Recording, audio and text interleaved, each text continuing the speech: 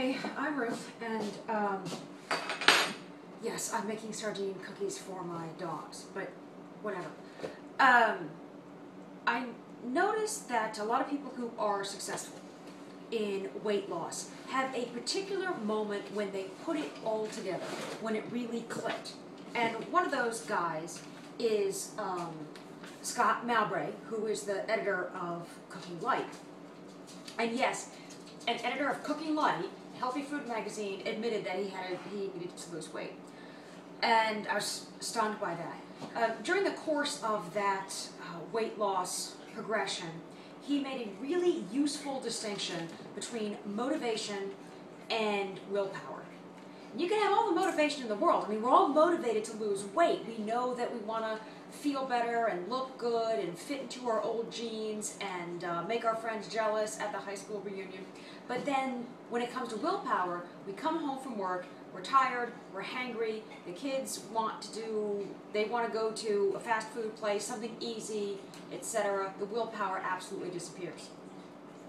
And his point was that uh, willpower that is not tethered to motivation is pretty much nothing.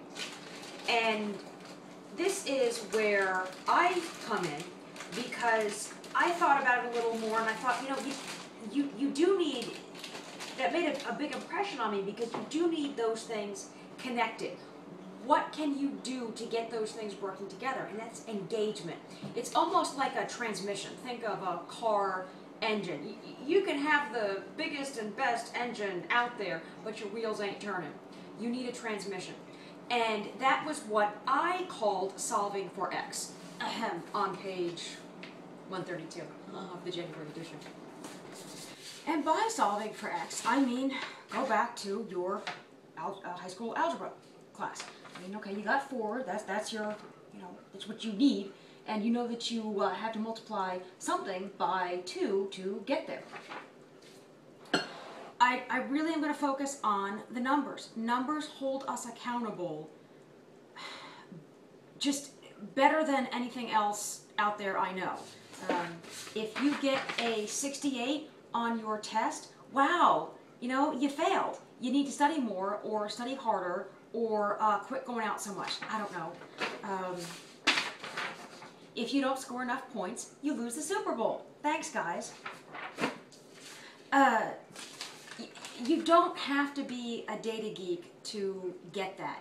You've got to know your numbers. I'm afraid you are going to have to weigh yourself daily on a digital scale. You have to know what that number is. You have to know what your what what do you know? What you're putting what what are you putting into your body?